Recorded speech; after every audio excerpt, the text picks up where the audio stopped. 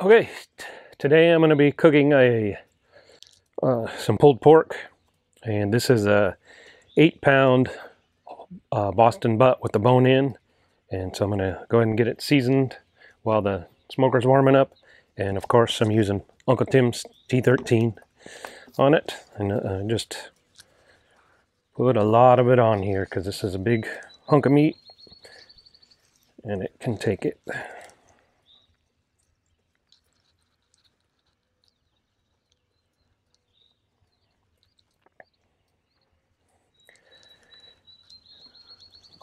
And if you want to get yourself some T13, you can get it on my website, uncletimsfarm.com. And also hat, carnivore hat, carnivore shirt. I got lots of other hats and shirts on there as well.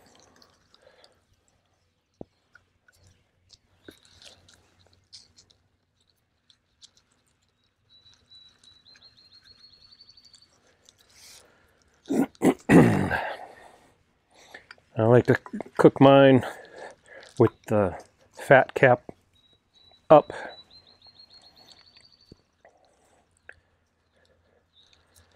Just seems to me to make it uh, more moist and tender doing it that way.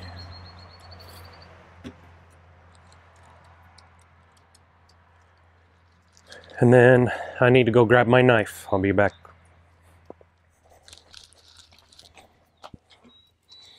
Okay, I got my knife and what I like to do is poke all the way down through that, the fat cap into the meat. Just punch holes all over in it.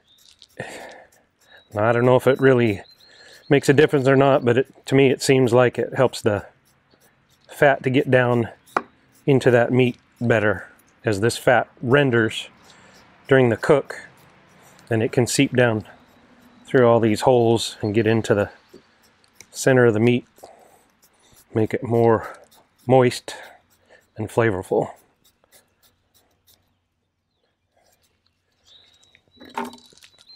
that's it. This is ready to go in the smoker once it gets heated up. Okay, so the smoker's up to temp, or pretty close, close enough. Close enough to being up to temp. So I'm going to go ahead and get this pork shoulder loaded in there and let her smoke.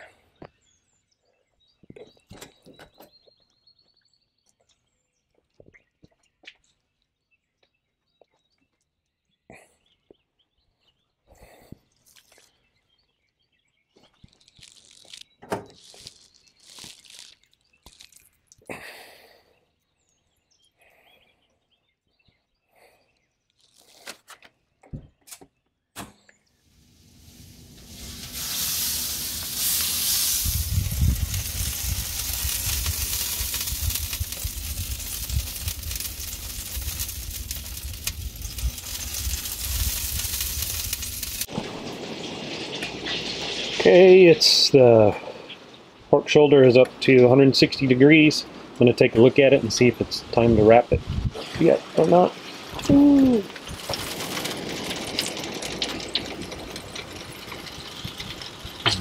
I fogged up. Yep. There we go.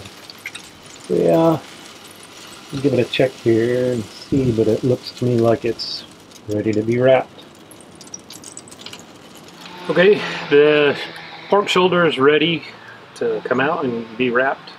It's reached a internal temperature of 165. So I'm going to go ahead and pull it out and wrap it up, stick it back in there till it's done.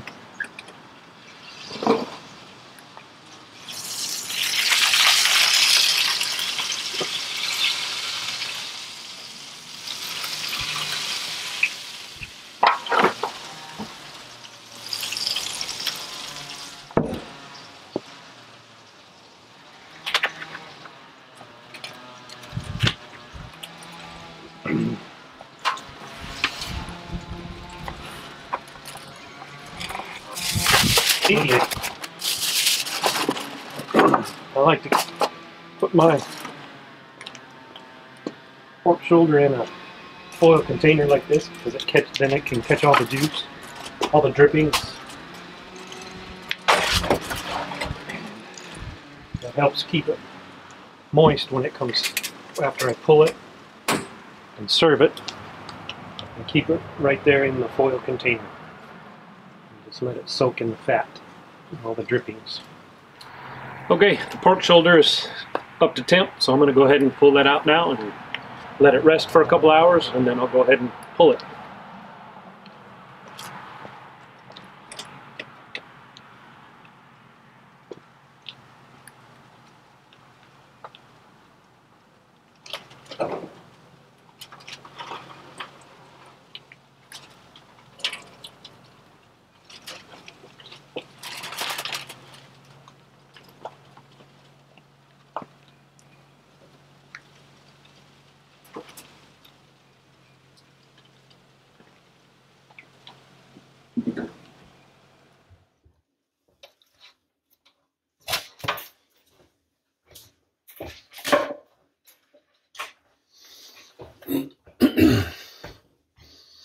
Okay, I'm going to go ahead and pull this. You can see it's got really good bark on it.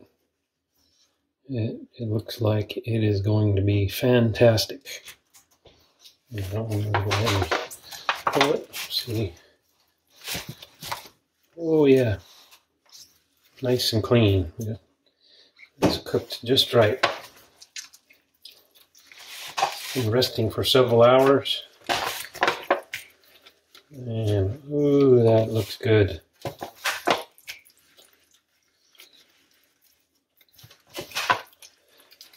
Making this for some neighbors. They, the wife had surgery recently, and so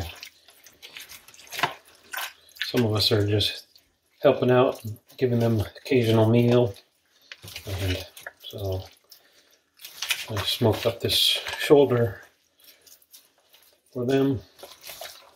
And I'll probably do up some baked beans and give them some buns to go along with it. But mmm, this smells delicious. Looks looks good. Nice and smoky. Nice smoky smell. Just falls apart. No, I just I like to do it in these deep pans because it catches all the juices. And you can just mix it up, and it's keeps it very moist and has lots and lots of flavor. Set aside a little, couple little pieces to have a taste.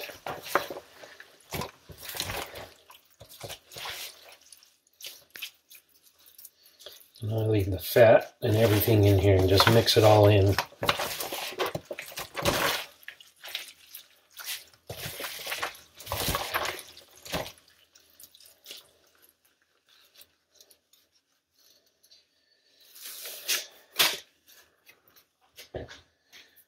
And then I always add a little more T13 because you can never have too much T13.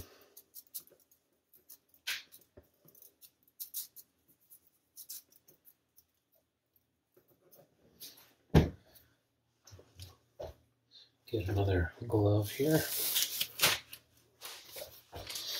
Go ahead and mix that seasoning in.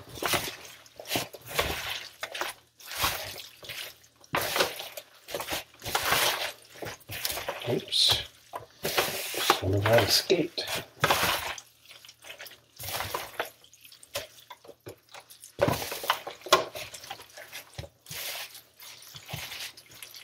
Yeah. That is going to be delicious. We better try some.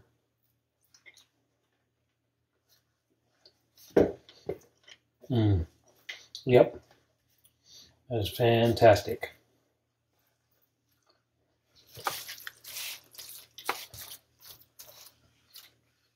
I'm going to go ahead and get this cooled down and then tomorrow I'll go ahead and reheat it and get it delivered to the neighbors.